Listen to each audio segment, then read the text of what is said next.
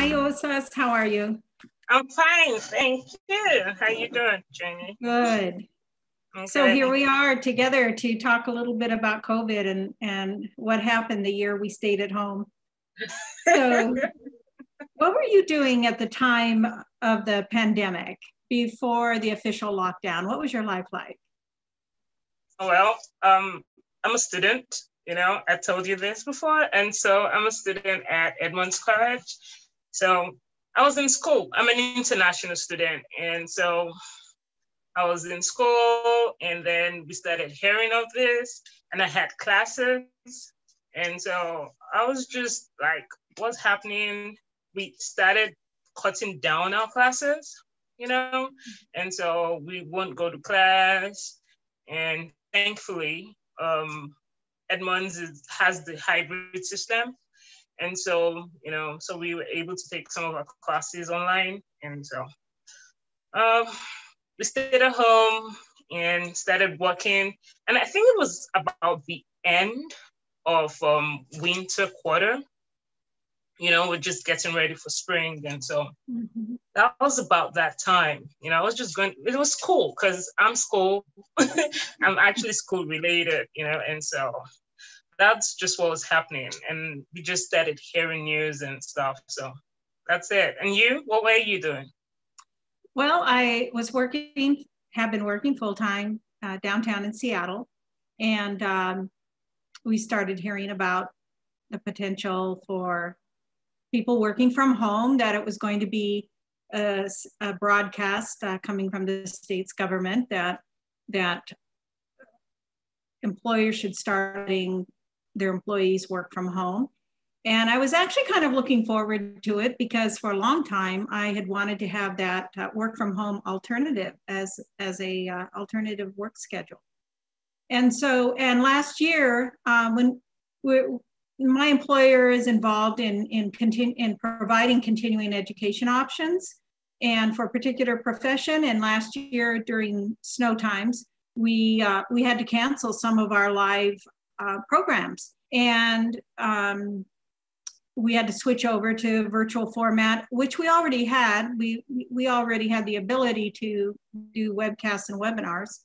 So, um, but this, this was different because now this was not only staff working from home, but it was our particular team that had to go from a live uh, program format for many of our programs to a virtual format for everything since since that March lockdown. So so I um, one Thursday afternoon, uh, I could just feel it coming. In fact, uh, our our director said that a, an announcement was coming from the governor that day. So kind of all were waiting with bated breath as to what was going to happen. And um, I went home. It was like midday, like there had been an earthquake or a snowstorm. And I thought, okay, I'm going. and um, and uh, from that time forward, um, I, have been able to work from home, and um, it's it's been an interesting experience for sure.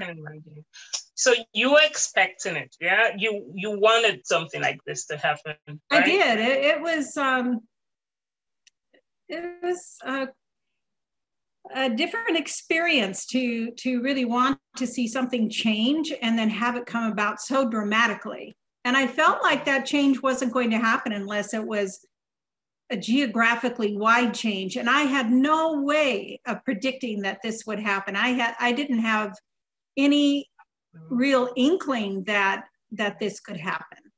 So um, I was surprised, and yet um, it was a pleasant surprise in many ways. Yeah, really. So, so how? Um, what were now the positive, you know, effects? Because you're saying pleasant surprise. Why pleasant? I had been spending um, about two hours on the bus every day to commute to downtown for the last 10 years. And when I wow. added that, when I added that time up, I realized I was spending almost 40 hours a month riding a bus.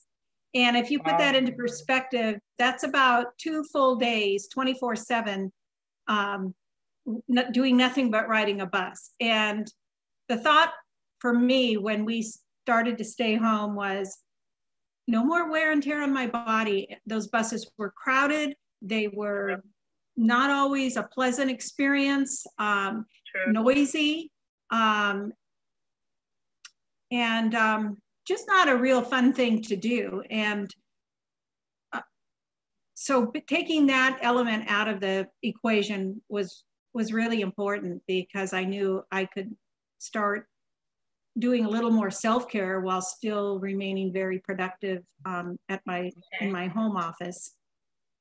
Do you have friends? Do you have friends? So do you see your friends now? Do you you know talk with them? Some at I, the office i mean at your oh, office yeah? well in the office we have co-workers oh co-workers yeah. um mostly my my my work setting was a work relationship with everyone. So I didn't have like close friends that I couldn't see at the time, but we certainly carried on with our Zoom meetings and team meetings. And, um, and the sense of connection ran for a very long time. It, it was, it was ironic to me to realize that when I saw my coworkers those first several weeks, I kept envisioning that they were in the office. I felt they were there and I was here.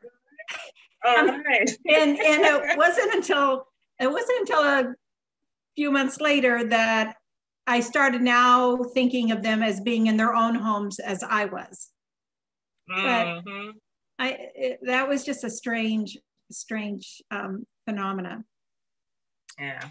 Um, Personally, for me, I kind of um, I missed school because um, I I'm I'm I'm the kind of person that likes to work with people, you know, mm-hmm. and so I I'm doing an assignment, for instance, and so you're like, no, don't do this, and then we laugh about it, and so, um, yeah, yeah, and so it was um, it was different when I had to do assignments, when I had to do classwork, and so not seeing my classmates, I think it you know, it kind of made me not depressed, but I wasn't too happy about it, you know. Mm-hmm. And so mm-hmm. I could reach out to them, I could talk with them, but it wasn't just the same having a classmate sit by you and you actually, you know, the lecturer says something and you ask, oh, what was that? And he says, okay, or she says she has, you know, she tells you a little bit more about what was said, or at the end of the day, you're asking each other about things and how we, I, I, I missed it personally, you know, I just, I missed the classroom environment. Mm-hmm. I missed at the end of the day having to um, walk up to the lecturer like after an English class or something and have the lecturer explain to you something he or she said, you know, and so mm-hmm. when we had to do it online, I had to send an email, you know, asking the same question when I could have simply walked up to you to ask the mm-hmm. question. But well, I can but, see you had a social connection there. And, yeah. and, it, and it provided a sense of liveliness that I'm sure you, yeah. I, sure you did miss. I um, my customer service, uh, uh, my customer, the service that I provide for customers where I work is generally done by telephone and email. So that aspect didn't change when I came home, and I still yeah. had that interaction with our members, with our yeah. through email and through phone calls. So to me, that was that that helped keep the flow going.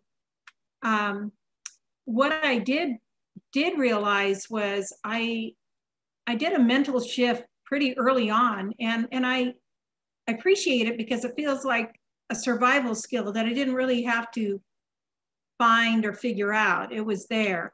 But that was to call my friends and loved ones every week. You know, in fact, my goal for those first few weeks was to have one phone call a day.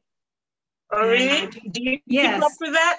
And I had a cousin in Iowa, a cousin in uh, in Phoenix. I had um, a sister in Portland, um, and and others, and then and friends in the in the area. And what I found when I called was they answered their phone right away, and they were, yeah. they were equally engaged. Yeah, and they showed care and concern. And right. it was beautiful because I felt that we were all, in a way, we were all in an uncertain time, but we were trying mm-hmm. to be there to hold each other up. Yeah, that was good. That's, you know, that was a good goal.